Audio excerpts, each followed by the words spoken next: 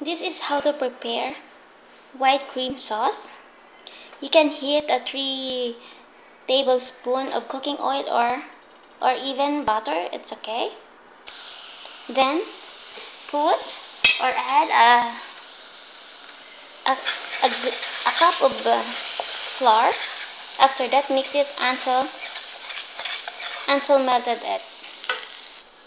After that mix it well and then we can add also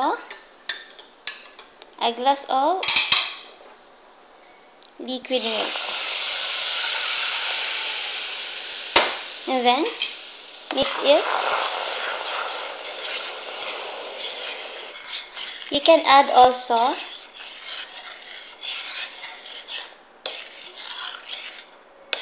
an egg and now you look at the screen. Then you can add a little bit of salt and also black pepper. Okay, that's it. Or or ginger powder. We can add also a little bit of butter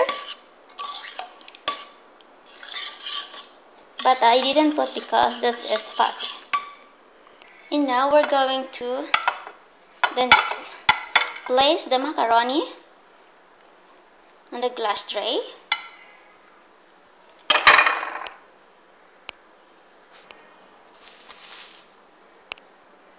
And now I mix it well. Then I fried potatoes and the eggplant. Cut it into a circle. And after that place on the top of macaroni one by one. Uh -huh.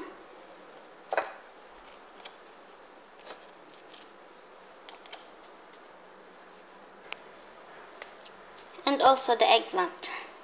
Placed on the next potatoes. Like this. Or you can add also cauliflower if you have or if you want.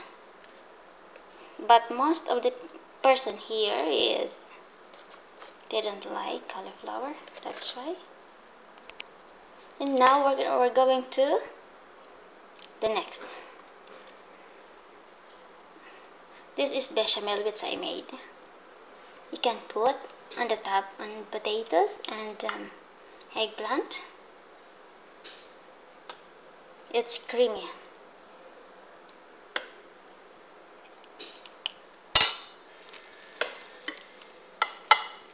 Also here.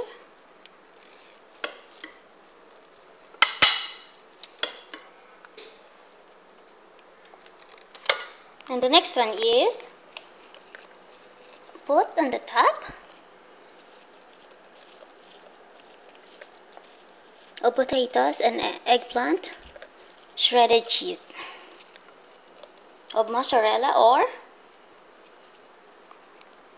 cheddar.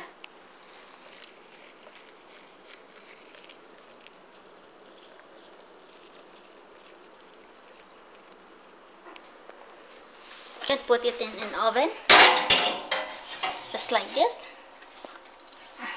and wait for 15 or 15 to 20 minutes. That then after that you are already finished and take it. And enjoy your meal. And now take it out. It's delicious. Come on bon appetit